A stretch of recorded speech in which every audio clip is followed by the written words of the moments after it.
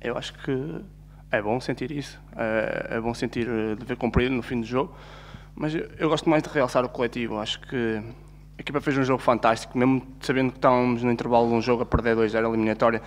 Acho que entramos determinados, decididos a tentar dar a volta ao resultado e eu gostava de realçar isso. Acho que esta vitória é de todo o grupo, mesmo daqueles que não, não participaram no jogo, também são importantes e que tornam o coletivo mais, eh, mais competitivo. Não, eu, eu, acho que isto nos penaltis é, são feelings que a gente sente e muitas vezes atira-se para um lado e a bola não, não vai para lá, e, mas desta vez correu bem e, e passamos à, à, próxima fase, que isso é que é o mais importante. Sim, se eu te disser que defendi 3 em toda a minha carreira e agora defendi 5, percebes? Sim. Uh, acho que é, é, muito subjetivo dizer se sou especialista a defender ou não. Acho que isso aí é muito relativo. Correu bem, isso é o mais importante e, e passamos à próxima fase. Sim, claro que é bom sentir isso. É importante.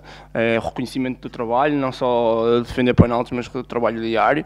E uh, é reconfortante sentir isso. Agora acho que eh, aquilo que os adeptos fizeram foi apoiar-nos durante o jogo todo, não só a mim, mas o Edinho, se calhar também foi importante fazer os dois golos, porque senão também não íamos a penaltis.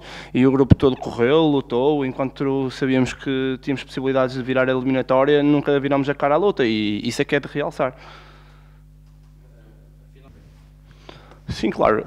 A gente tem os nossos objetivos bem definidos e as prioridades que neste momento era o campeonato e, e, e as duas taças. A Liga Europa era, é, um, é, mais uma competição para a gente ganhar maturidade e sabemos que é complicado. Agora estamos em todas as competições, estamos na luta e conseguimos passar mais uma etapa. Agora que vem a próxima fase e depois veremos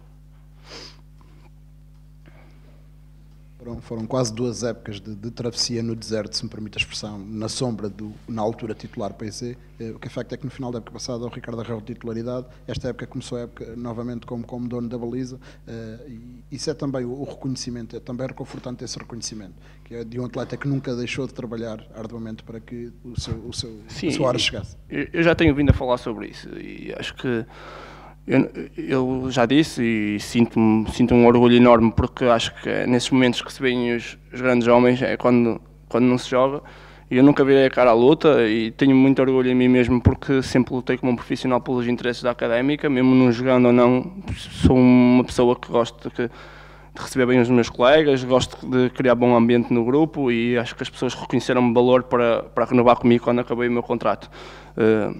A mim só me cabia trabalhar diariamente e, e, as pessoas acreditarem no meu valor. Acho que isso tem acontecido, eu tenho correspondido, estou feliz da vida.